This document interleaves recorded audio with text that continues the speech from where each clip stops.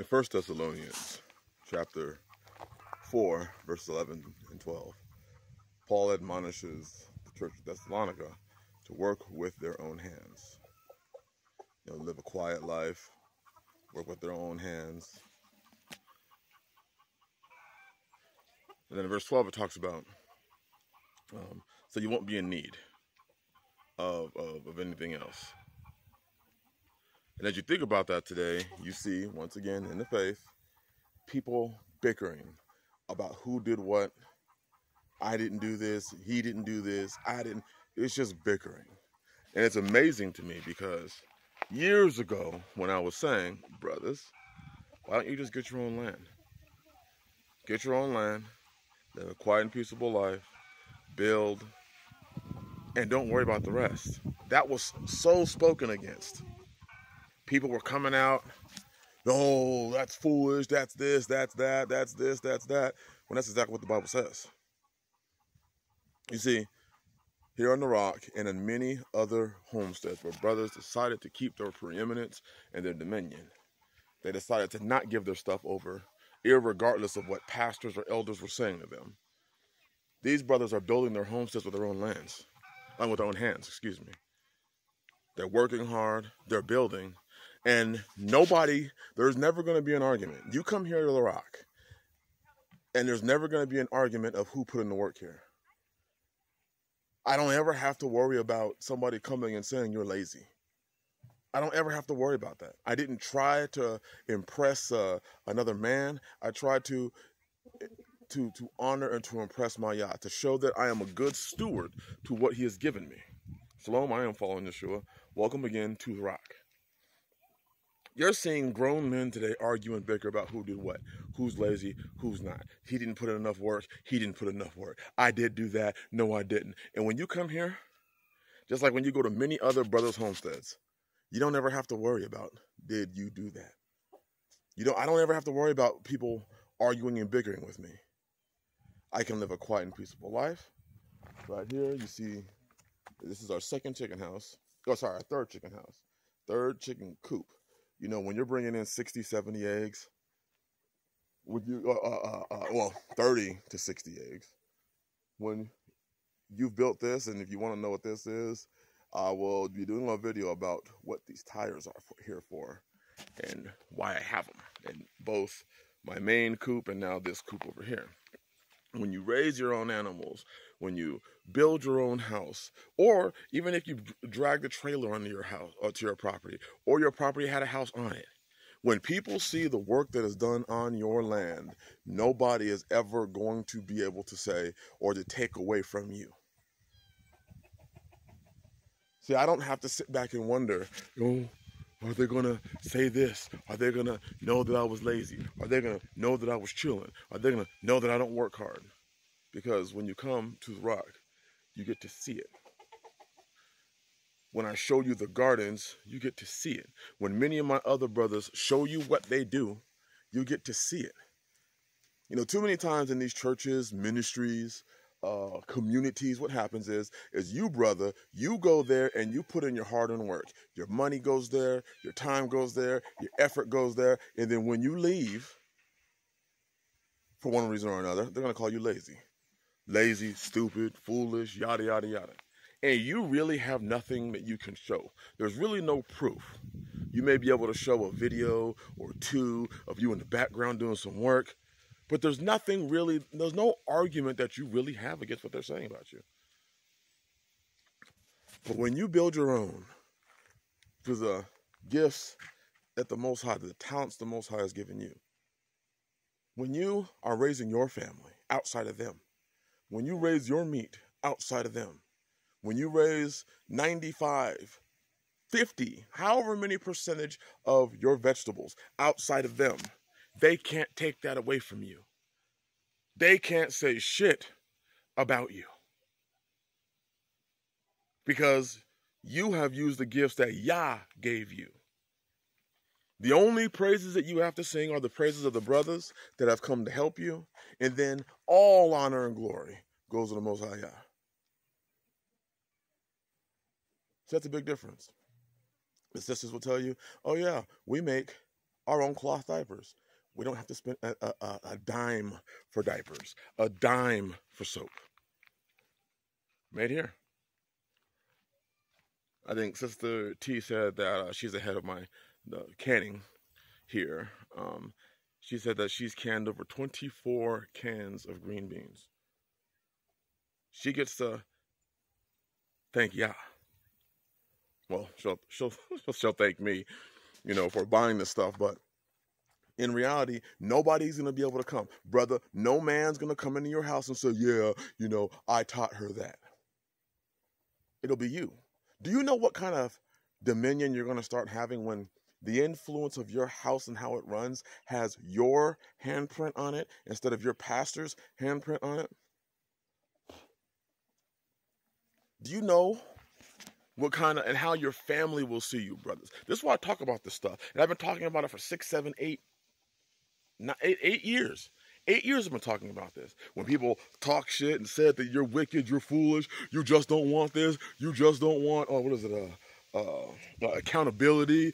They act like you can't be accountable to another brother and another brother accountable to you if you have your own land. They act like you can't have real brotherhood. They act like you can't be there for each other.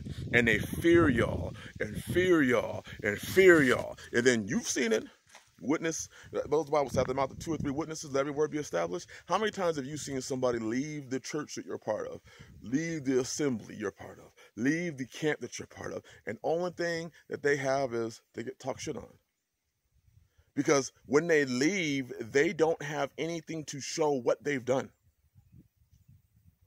So there's no way to disprove what the leadership is saying. There's no way to disprove it. Well, I'll just I'll show you these. I can show you these. We have probably I think we have 22 roost uh, hens and two roosters in here. Just gonna show you some things. So these are just our roosters.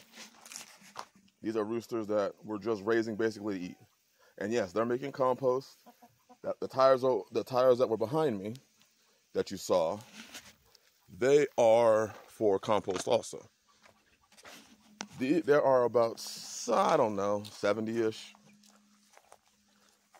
hens. Well, maybe maybe 60 hens and like five roosters in here. Let me get you a here we go. Here's some more of them. And with the same tire system in here. Look at this. We have moringa trees. What's that moringa tree? See those moringa trees?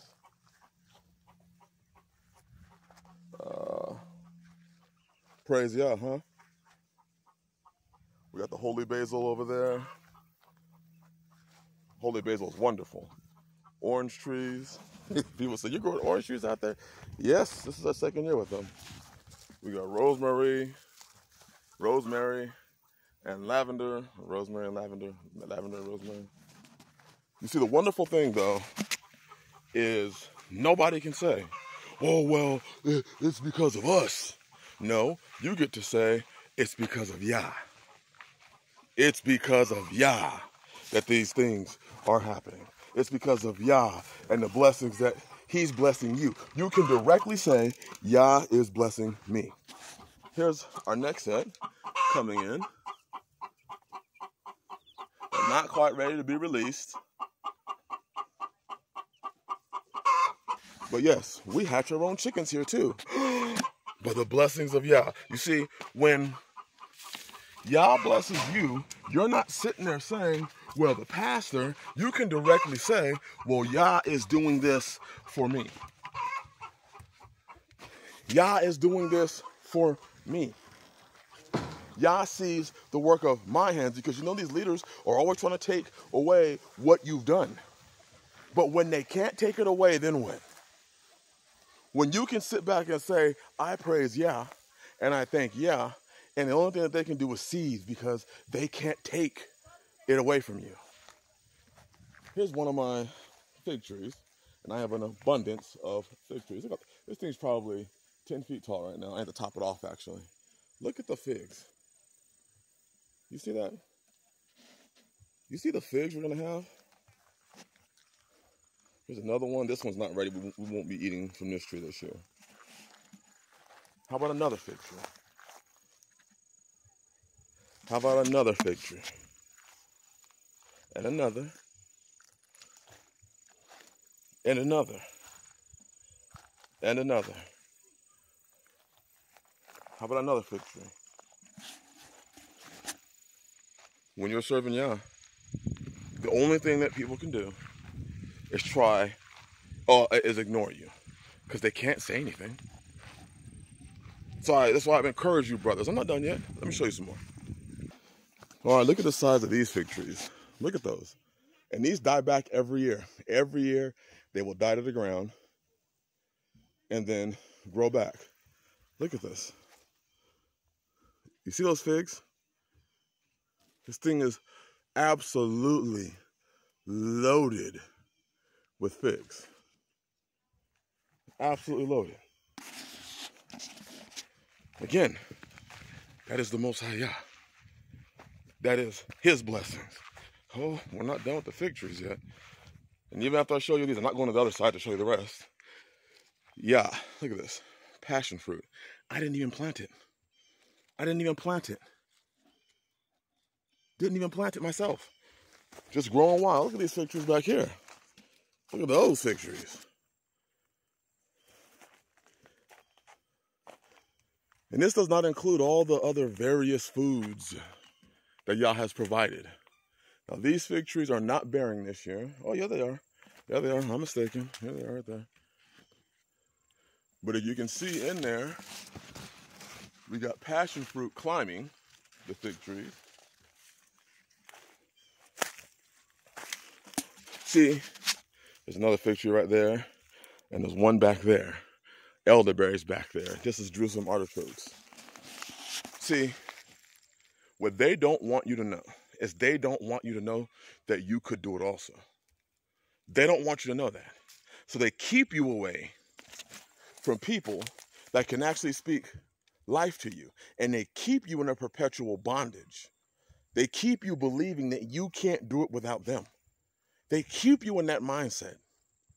Because, and they tell you, you know, don't eat off other tables don't listen to nobody else. Because they're afraid that if you did listen to somebody else that really spoke life to you, where nobody can take it away from you, they certainly can't take it away from you. They can't dist- uh, disparage your name and destroy your name whenever they feel like it.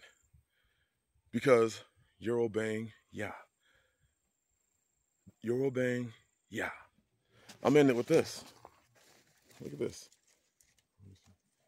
More passion fruit. Again, I didn't plant it. I didn't plant it. Some of you need to walk in this faith that you say you have, this faith in Yah, and stop placing your faith in man. And you would see this and probably more. Probably more. But hey, you've been scared, huh? You've been feared to death. I'm to end it showing you one more thing. So here we are. This is the incubator where we hatch our own eggs. This little $60. Now we have a bigger one that holds about 60 eggs, but this one's working fine for us. And here they are after they're hatched. They go from this stage to outside. Let me tell y'all, brothers, you can do this too. Bless y'all. Shalom.